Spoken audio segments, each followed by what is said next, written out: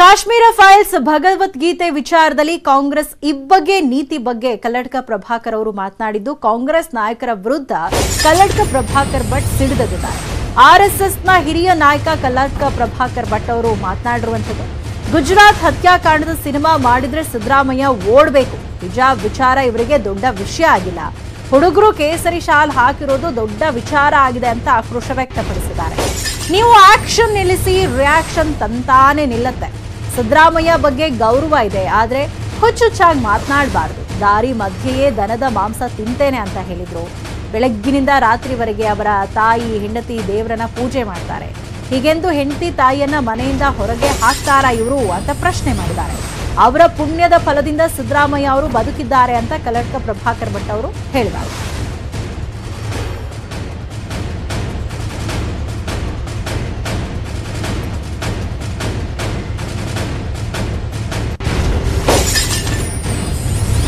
ಸಿದ್ದರಾಮಯ್ಯ ಅವರ ವಿರುದ್ಧ ಆಕ್ರೋಶವನ್ನ ವ್ಯಕ್ತಪಡಿಸಿರುವಂಥದ್ದು ಕಲ್ಲಡ್ಕ ಪ್ರಭಾಕರ್ ಭಟ್ ಅವರು.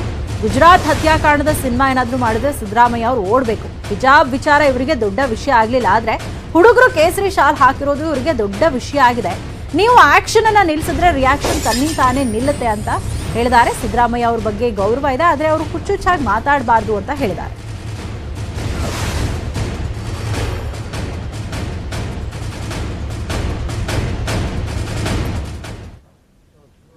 ಗುಜರಾತ್ ಹತ್ಯಾಕಾಂಡ ಮಾಡಿದರೆ ಅವರು ಓಡಬೇಕು. ಅಲ್ಲಿ ಮುಸಲ್ಮಾನರು ಮಾಡಿದಂಥ ಅತ್ಯಾಚಾರ ಏನಿದೆ, ಅದನ್ನು ಯಾರೂ ಒಪ್ಕೊಳ್ಳಿಕ್ಕೆ ಸಾಧ್ಯ ಇಲ್ಲ. ಯಾರೂ ಒಪ್ಕೊಳ್ತಾರೆ ಒಂದೇ ಒಂದು ಪ್ರಶ್ನೆ ಇವರಿಗೆ ಬಂದಿರೋದು. ಈಗ ಮೊನ್ನೆಯ ಫೈಲ್ನಲ್ಲಿ ಕೂಡ, ಮೊನ್ನೆಯ ಹಿಜಾಬಿನ ಪ್ರಕರಣದಲ್ಲಿ ಹಿಜಾಬ್ ದೊಡ್ಡ ವಿಷಯ ಆಗಲಿಲ್ಲ. ಅಲ್ಲಿದ್ದಂಥ ಹುಡುಗರು ಕೇಸರಿ ಶಾಲ್ ಹಾಕಿದ್ರಲ್ಲ, ಅದು ದೊಡ್ಡ ವಿಷಯ ಆಗಿರೋದು. ಕೇಸರಿ ಸಾಲ್ ತಾಯಿಗೆ ಬಾದಿಯರು ಮಕ್ಕಳು ಅವರೇ ಹಾಗೆ ಕೇಸರಿ ಹಾಕಿದರು. ಅದೇ ಪ್ರಶ್ನೆ ಇವತ್ತು ಅವರು ಮಾತಾಡ್ತಾ ಇರೋ ಗೋತ್ರದಲ್ಲಿ, ನೀವು ಮುಸಲ್ಮಾನರು ಕೊಂದರು ನೀವು ಯಾಕೆ ಆಕ್ರಮಣ ಮಾಡಲಿಕ್ಕೆ ಹೋದ್ರಿ ಅಂತ. ಸಾಯ್ಬೇಕಾ? ನಾವು ಬದುಕೋದು ಬೇಡವಾ? ನಮ್ಮ ಬದುಕಿಗೋಸ್ಕರ ಹೋರಾಟ ಮಾಡಿದ್ದೀನಿ ಅದಕ್ಕೆ ನಾನು ಹೇಳಿದ್ದು, ಇವತ್ತಿನವರೆಗೆ ಹಿಂದೂ ಅವನಾಗಿ ಆಕ್ಷನ್ ಮಾಡಿದ್ದಿಲ್ಲ. ರಿಯಾಕ್ಷನ್ ಮಾಡಿದ್ದಾನೆ ಕೆಲವು ಕಡೆಯಲ್ಲಿ, ಎಲ್ಲ ಕಡೆಯಲ್ಲಿ ಮಾಡಲಿಲ್ಲ. ನಾವು ರಿಯಾಕ್ಷನ್ ಮಾತ್ರ ಮಾಡಿದ್ದು. ಅದಕ್ಕೆ ನಾವು ಆ್ಯಕ್ಷನ್ ಮಾಡೋದಿಲ್ಲ ನೀವು ಆ್ಯಕ್ಷನ್ ನಿಲ್ಲಿಸಿ ರಿಯಾಕ್ಷನ್ ತನ್ನಿಂತಾನೇ ನಿಲ್ತದೆ. ಅದಕ್ಕೋಸ್ಕರ ಸಿದ್ದರಾಮಯ್ಯ ಹೇಳಿ ಒಂದು ಸಲ ಹೋಗಿ ಬರಲಿ, ಅವರು ಸಾಧ್ಯ ಆದರೆ. ಅಲ್ಲಿ ಏನಾಗಿದೆ ಅಂತ ಒಂದು ಸಲ ತಿಳ್ಕೊಂಡು ಬರಲಿ. ಆವಾಗ ಗೊತ್ತಾಗ್ತದೆ ಒಂದು ಸಲ ಐವತ್ತಾರು ಸಾವಿರ, ಐವತ್ತಾರು ಜನರನ್ನು ಬೆಂಕಿ ಹಾಕಿ ಕೊಂದ್ರಲ್ಲ ರೈಲಿನಲ್ಲಿ, ಅವರ ಮನೆಗೆ ಹೋಗಲಿ, ಅವರ ದುಃಖ ಏನಂತ ಕೇಳಲಿ. ಆವಾಗ ಗೊತ್ತಾಗ್ತದೆ. ಇಲ್ಲಿ ಕೂತ್ಕೊಂಡು ಭಾಷಣ ಮಾಡೋದಲ್ಲ ಇವರು. ಹಿಜಾಬಿನ ಬಗ್ಗೆ ಏನು ಹೇಳಿದ್ರು ಅವರು? ಮಾತಾಡ್ತಾರಾ? ಮಾತಾಡಲಿಕ್ಕೆ ಧೈರ್ಯನೇ ಇಲ್ಲ. ಅದ್ಲಾಗಿ ಮಾತಾಡಿದರೆ ಅವ್ರದ್ದು ಓಟ್ ಹಾಕ್ತಾರೆ ಈ ಥರ ಮಾತಾಡಿ. ಇವ್ರದ್ದು ಓಟ್ ಹಾಕ್ತಾರೆ.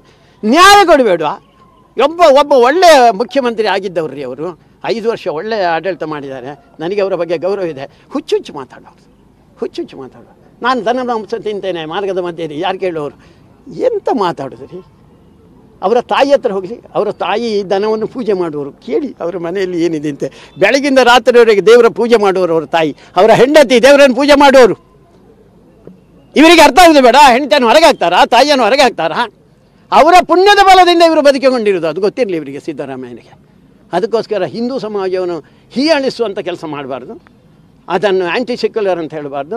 ನಾವು ಮೋಸ್ಟ್ ಸೆಕ್ಯುಲರ್ ನಾವು ಮೋಸ್ಟ್ ಸೆಕ್ಯುಲರ್ ಎಲ್ಲರನ್ನು ನಾವು ಒಳಗೆ ಬಿಟ್ಟವರು, ಎಲ್ಲರಿಗೂ ಗೌರವ ತೋರಿಸಿದಂಥವರು ಅಂಥ ಹಿಂದೂ ಸಮಾಜ ಉಳಿದ್ರೆ ಜಗತ್ತುಳಿದು ಗುಜರಾತ್